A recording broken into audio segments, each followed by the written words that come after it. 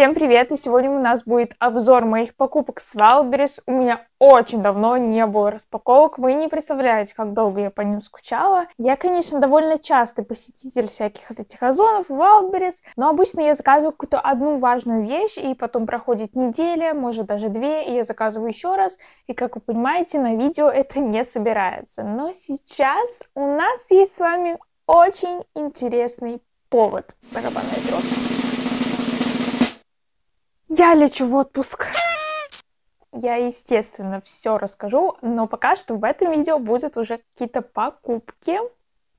Ну, первое, давайте начнем с чего-то более актуального, осеннего. Я заказала черный облегающий sleeve с длинными рукавами, и сам он тоже не укороченный. Я решила купить кофту с чуть более широким вырезом, чем обычно, если вы даже сравнивать с моей футболкой, потому что таких у меня в гардеробе еще, в принципе, и нет. А сустав будет как бы... Мне, естественно, привлекает в вещах, когда у них хорошее качество, это стопроцентный хлопок. Возможно, будет такое, что она со временем будет как-то немножко растягиваться, ну... Но я уже как-то привыкла и смирилась с тем, что вещи недолговечные. Размер у меня самый маленький, и в рукавах она, конечно, к сожалению, меня не облегает. Но зато, наверное, будет более комфортно в ней. Ставлю лайк еще и за цену.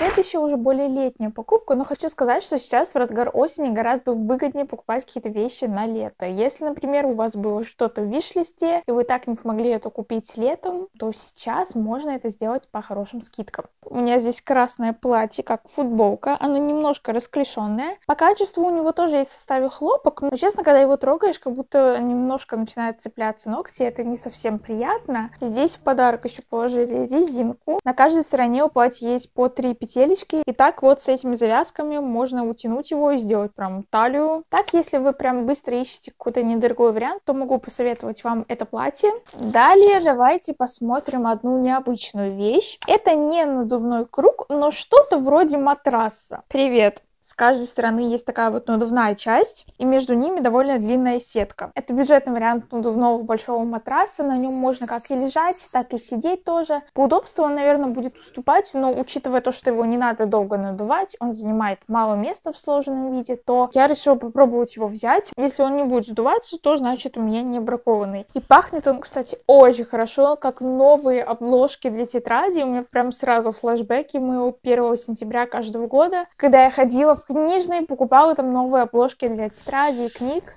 Это прям вот этот запах, я его просто обожаю. Обязательно во влогах мы его потом будем с вами и тестировать даже. Продолжим такую морскую тематику. Не знаю, зачем мне захотелось еще и заказать просто обычный мячик, чтобы возможно с ним поиграть. И чтобы вы понимали, чтобы снять эту распаковку, этот мяч даже не проверяла в пункте выдачи. И мне страшно, что он просто пришел с дыркой, а я его забрала. Он уже, к сожалению, так вкусно вообще не пахнет. По размерам неплохой, я его обязательно тоже надую. Покупала я его за 178 рублей, поэтому, наверное, не так будет жалко, если, не дай бог, с ним что-то случится. Окей, мы с вами движемся дальше даже не знаю, показывать это вообще или нет, потому что это обычная белая длинная футболка и притом облегающая. Примерно та, в которой я сижу сейчас, только базовая белая. Вот не поверите, но у меня такой нет. У меня есть укороченные, у меня есть майки, а вот обычной футболки нет. Она точно такая же по материалу, как черный лонгслив, самый первый. Хорошая. Теперь у нас уже будут больше бьюти покупки. Я хочу вам показать целую коробку воска, которую я себе заказала для депиляции. Год назад я впервые купила себе тоже на Wildberries набор с воскоплавом, и там было три пакетика воска по 100 грамм. В этот раз я заказала целый килограмм, потому что вот те три пачки я израсходовала за год. Но если быть более объективной, я не использовала их прям целый год, потому что в одиннадцатом классе, вот этот вот весь учебный год, я вообще за собой не следила, вот правда вам скажу. Я выглядела, мягко говоря, плохо. И мне было как-то вообще без разницы на это. Просто разные-разные цвета. Есть даже черный воск. Ну, вроде бы удивляться не стоит, что в этом такого, но я его, честно, никогда не видела, чтобы таким цветом кто-то пользовался. Обычно розовый, желтый, фиолетовый. Вот оно, я купила наконец-то консилер. Как только я закончу снимать это видео, я его обязательно протестирую и нанесу на свое лицо. Пахнет вкусно. Хотя вам кажется, что он прям такой светлый, на руке он более теплый. Надеюсь, он будет плотнее, чем BB-крем. Еще одна косметика.